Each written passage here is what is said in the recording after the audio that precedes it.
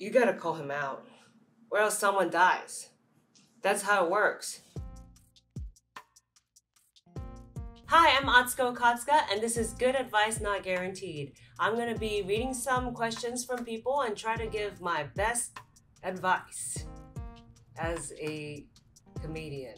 My husband suddenly left our vacation because he said he had a work emergency. Uh oh, but I overheard him say some sketchy things on the phone.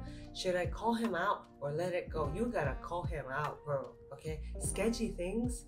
Uh, it, that's very general, but I'm assuming already the worst, you know? And if I learn anything from White Lotus, it's.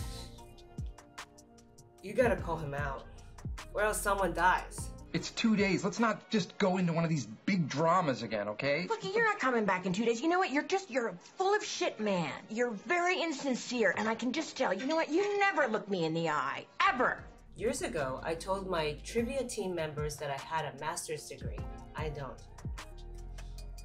As far as that. Uh, now I'm looking for a new job, and one of the team members keep sending me postings that require a master's. What should I do? Well, I wish I could help you, but I have two masters, so I can't really relate.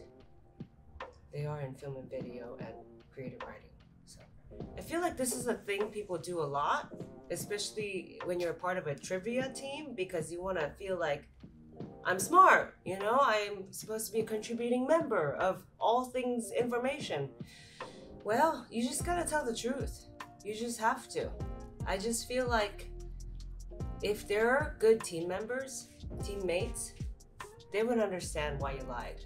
And if they kick you off, great news. There's so many trivia teams out in the world. Just go to a bar, just close your eyes, point at a bar. That's your new, new team. You did, got you got everything off your chest, and it, it must feel good. I got it off my chest, and I still won that night. Trivia. It's just the extra. I won a trivia night, and that's the extra cherry on the sundae, I guess. I come from a very old fashioned family. My stepmom keeps insinuating that my kids aren't my husband's and it keeps causing problems. What should I do? First off, this is there's a lot of apostrophes in this, a lot of possessives. Okay, so your stepmom, who is not your actual mom, married your dad. Okay, your stepmom keeps insinuating that your kids aren't your husband's and it keeps causing problems. Okay, I think I understand. You have a pretty big family. Uh, I don't know. Tell her they are, and that's it. That's that. Do you have to talk to her? Maybe just shut her out. Let her go! Where is duty? Where is sacrifice? She's not your real mom, anyways.